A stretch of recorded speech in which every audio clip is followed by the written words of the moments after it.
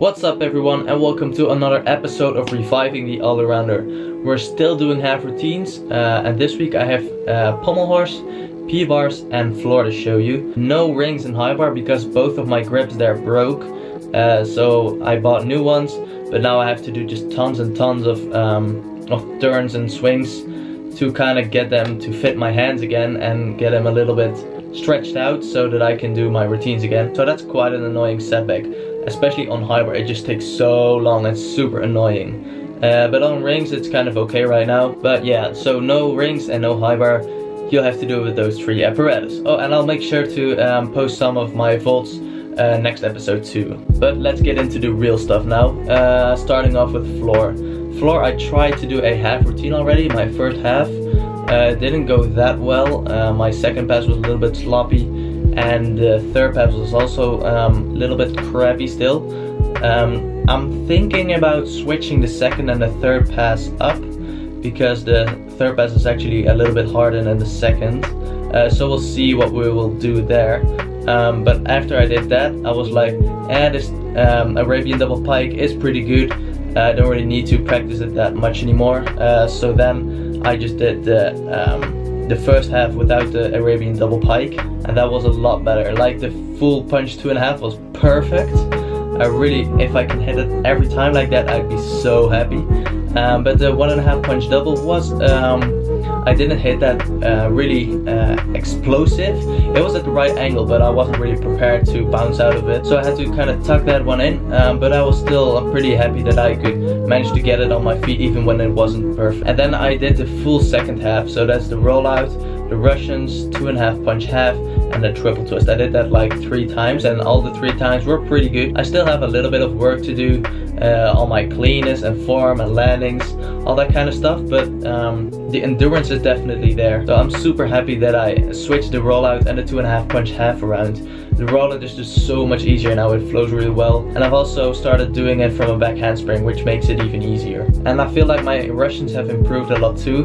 Normally they were uh, really slow and I just stepped around and now I'm kind of hopping and it just goes a little bit faster and it seems more controlled. The only thing that wasn't so good in the half routine was my triple twist, my dismount. So after I did those half routines, um, I did some more of those one and a half punch doubles and then ran back and did the triple twist.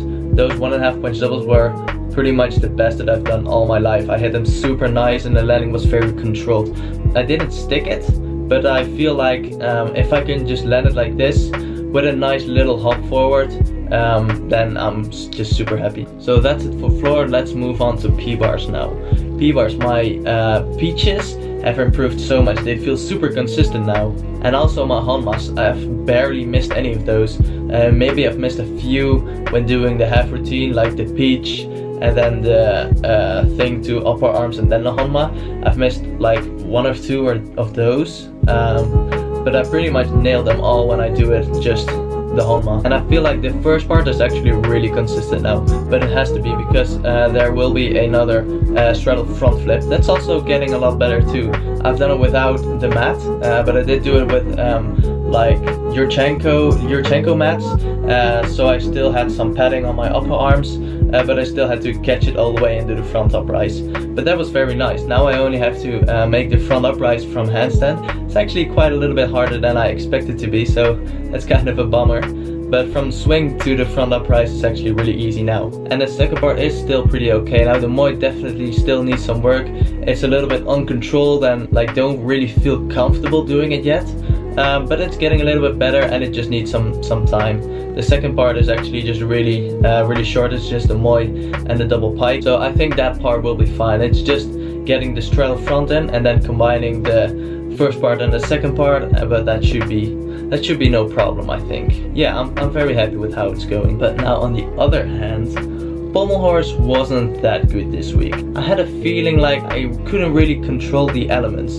I was just um, jumping up and kind of going through the motions and just trying to hit it without actually thinking of uh, how I am going to do those elements and what pointers I have to think about. I was just jumping and going and not really thinking, just going, going, going, going. And on some apparatus I can do that, but not on pommel horse. Pommel horse just isn't that far. I don't have the experience with the elements that I can just um, kind of turn off my mind and just go for it. So what I've started doing is actually um, not doing the parts but um, doing the separate elements again and really focusing on the pointers. So next week I will be doing uh, half routines again or like combining some parts. But for now it was just separate elements and really focusing on the quality and on the pointers. And that is also very good for my forearms because the long turns would kind of tire my forearms out and they would start to hurt a lot more so this week was definitely a little bit better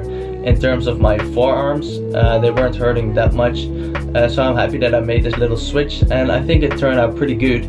Uh, the elements feel like more consistent and I kind of know what I am doing right now.